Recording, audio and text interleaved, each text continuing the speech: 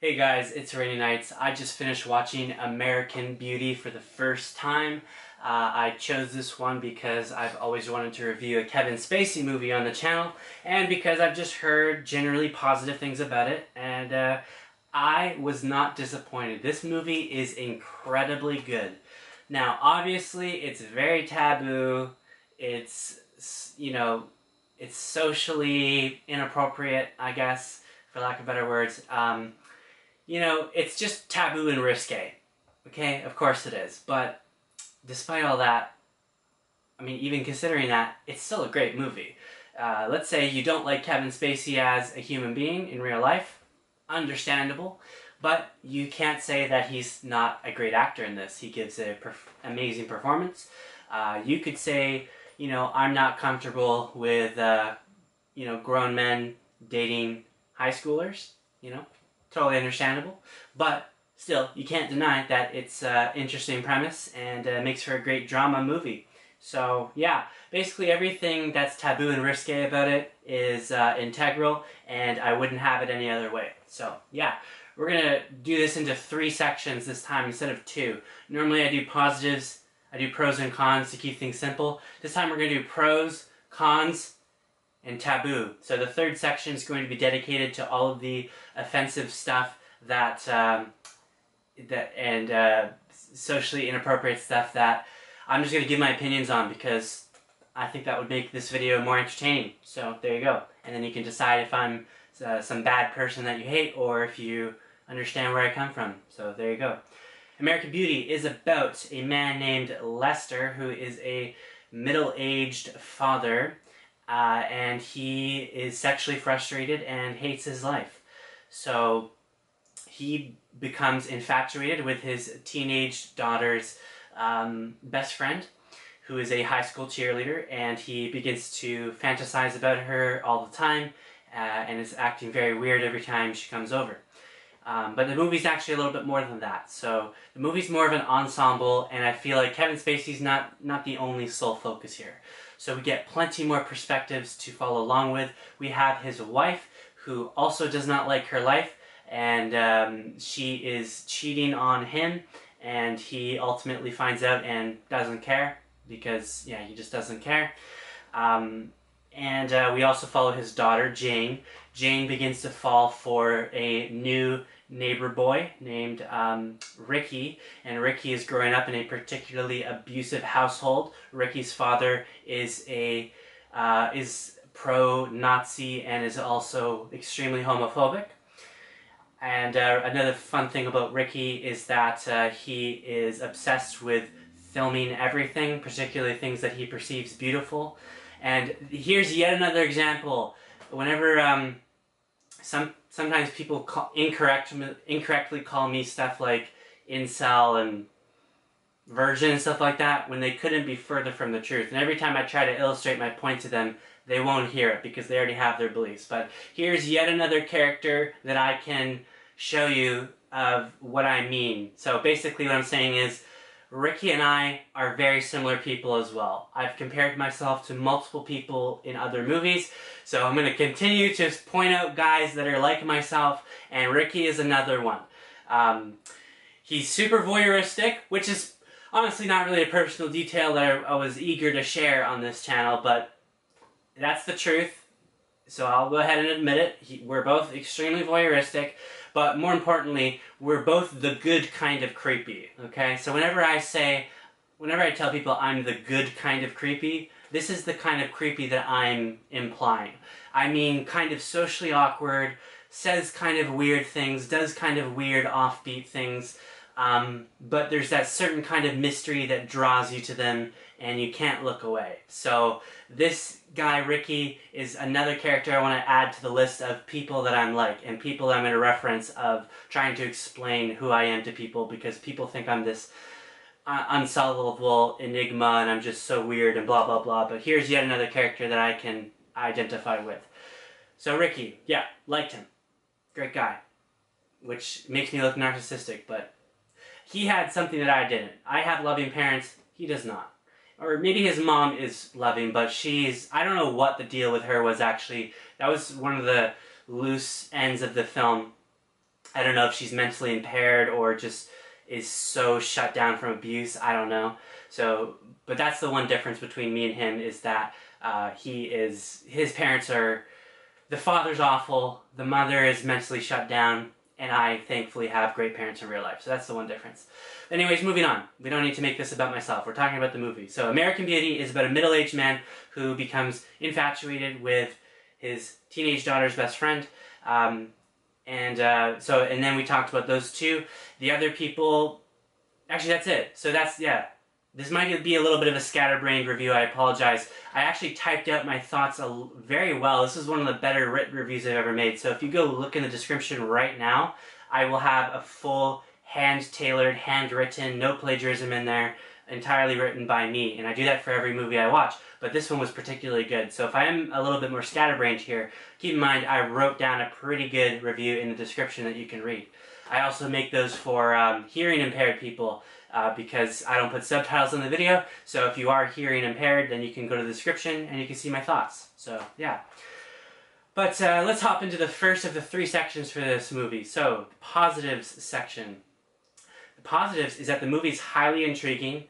It's uh, an incredibly well executed drama. It's had me glued to the screen start to finish.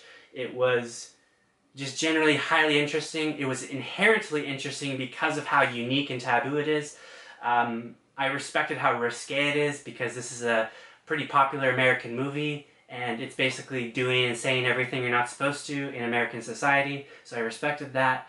Um, yeah, it was just a very shocking, in a good way, movie. I've seen a movie, I've seen shock movies that are bad. For example, I watched Cuties on Netflix, which is just fails at its objective and it's just cringe and inappropriate. Uh, but this movie is, um, I guess, a similar caliber, kind of, but not really. But it's the closest thing I can think of. Um, but this one does it correctly. This one achieves its goal, which is just to be an entertaining drama um, showing the, the morally corrupt dark side of a seemingly normal American family, and it does it really well. So it's, it's an extremely good movie. I highly recommend it. Even if you don't like Kevin Spacey, even if you think the subject matter is inappropriate, I guarantee you the movie is guaranteed to entertain you, guaranteed to intrigue you, and uh, it's it's a must watch. It really is a must watch in my opinion. So yeah. Um, and uh, the the actors really really sell the experience because honestly, the story is somewhat ridiculous, uh, especially for just a movie standard. But I, the the performances of the actors are so passionate and of high class and quality that it really sells everything for me. Because we could have had a ridiculous, for example, we could have had a ridiculous uh, caricature of a neo-Nazi white supremacist, and it just would have been stupid and eye-rolling and over the top. But instead, it's a realistic depiction, really well acted, um, of an abusive father. So it, it's the movie's executed at the highest level, and yeah, is not offensive at all. The only reason you'd be offense, offended at this movie is if you go into it wanting to be offended. If you go into this movie you know, with a bad attitude or a negative mindset or a virtue signaling mindset, like, oh, I'm going to watch this movie and just point out all the things that I personally disagree with, you're, you're watching it wrong. You're, you're just going to ruin it for yourself. So, it's a highly entertaining, highly engaging, well acted, well executed, um, very, very interesting movie, and I highly recommend it.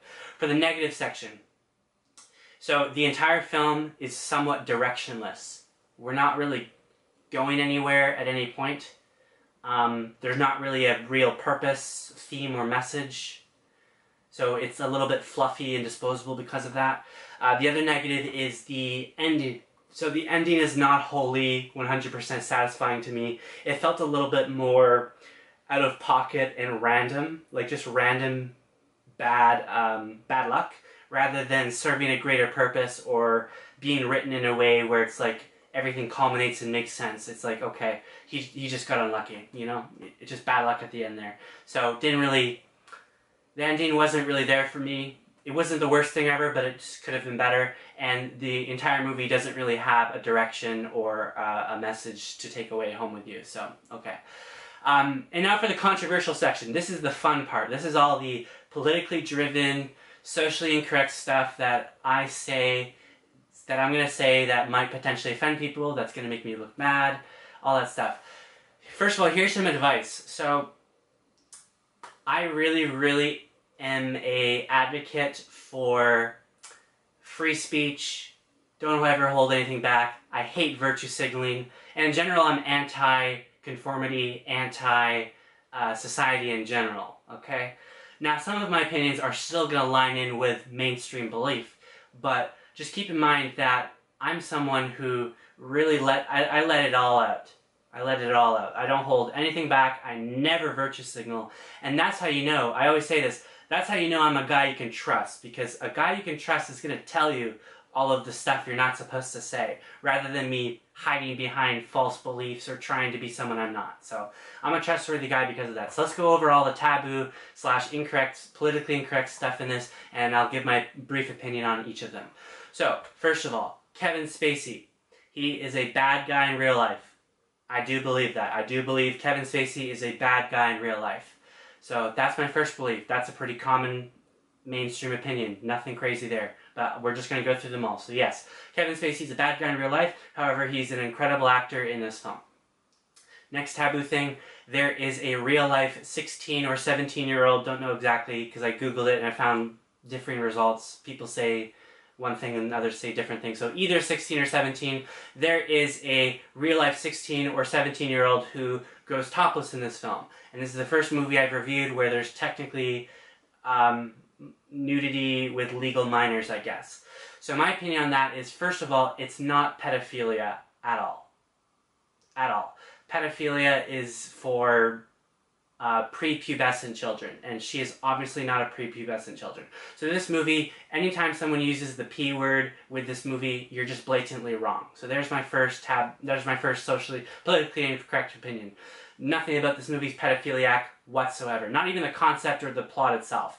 Uh, he's falling in love with a high schooler. That doesn't make him a pedophile, that makes him a creepy guy. It makes him a creepy guy who is trying to have an inappropriate relation with someone way younger than him, who's not even at high school yet. And he's also cheating on his wife. That's obviously a bad thing, but it does not make him a pedophile. So, nothing about this movie's pedophiliac whatsoever. Now my dog's making noises. Um, as for the nude scene itself, because it's, you know, somewhat illegal, um, I guess. Not really, but like somewhat illegal. The, the scene's totally fine. I don't have a problem with it at all. Um, for me, it was uh, one of the few climaxes of the film, which is, remember, I'm, I'm not using that I'm not using that word in the other sense. Uh, in fact, this is one of the least erotic nude scenes I've ever seen in my life. Um, but I just mean that it's one of the high points of the film where things get kind of extreme and serious. So it's one of the rare few climaxes of the film. It's also important and integral to um, communicating the status of how Jane and um, Ricky feel for each other. It's kind of a wholesome young person moment as well. So I don't think there's any problem with that scene whatsoever. So I think it's totally fine to keep in there. No issue with that at all. What else is controversial? The homophobia and the slurs. So I'm someone who does occasionally criticize uh, slurs usage in movies. For example, Step Brothers has an unnecessary amount of slurs in it that don't serve any purpose, except for failed attempts at laughs. I still like Step Brothers, but that's just one of my problems with that movie. Um, but this movie, I have no problem with the slurs or homophobia whatsoever. It's all accurate, it's realistic, and it's executed in a tactful, high level way that makes sense. So obviously, his father's a terrible guy. Ricky's father's a terrible guy, and so it's more than okay for him to be doing and saying terrible things. Uh, so yeah, that's that's totally okay. Is there anything else controversial?